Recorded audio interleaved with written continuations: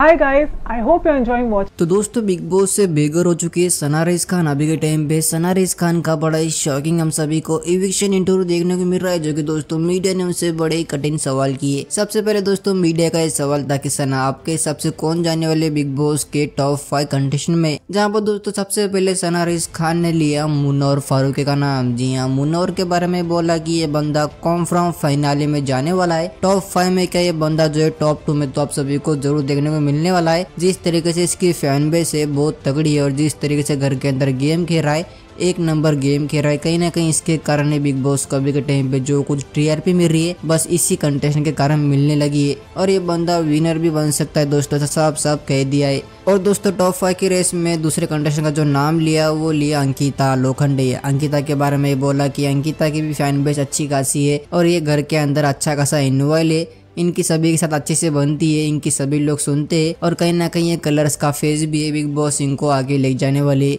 और दोस्तों number three पे नाम लिया बाऊ भैया, यानी कि दोस्तों अनुराग। अनुराग के बारे में बोला कि इसकी भी फ़ैन फॉलोइंग तगड़ी है। ये जो है मुन्ना और को कड़ी टक्कर दे सकते हैं। अगर ये घर के अंदर अच्छी गेम खेले तो बिग बॉस जो इनको ज़रूर फिनाले में ले जाएगी। इनके फ़ैन बेस तो है ही इनको वोटिंग करने के लिए, लेकिन वो बिग बॉस के ऊपर भी डिपेंड रहने वाला है। लेकिन फिर भी ये टॉप फाइव तक जाएगी ऐसे दोस्तों का कहना था। यहाँ पर दोस्तों नंबर चार का जिसका नाम लिया टॉप फाइव की रेस में, उसका लिया अभिषेक का। अभिषेक जिस तरीके से घर के अंदर बिग बॉस को कंटेंट देता है बार बार लड़ाया करता है। बिग बॉस सेवेंटी में कोई लड़ाकू है तो वो है अभिषेक सनारेस ऐसा दोस्तों सनारेस खान मीडिया के सामने अभिषेक के बारे में बोल रही थी। अभिषेक के आगे कोई भी घर के अंदर आवाज़ बिल्कुल भी नहीं उठाता है क्योंकि अभिषेक का गला बहुत बड़ा है।